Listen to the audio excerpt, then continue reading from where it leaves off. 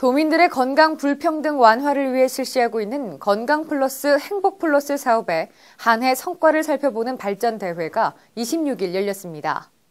이날 경상남도 보건행정과와 시군 보건소 및 읍면동 직원 등 건강 증진에 관심이 많은 개인과 단체 200여 명이 참석해 올 한 해 동안 추진한 건강 플러스 행복 플러스 사업 추진 실적을 평가하고 발전 방향을 모색했습니다.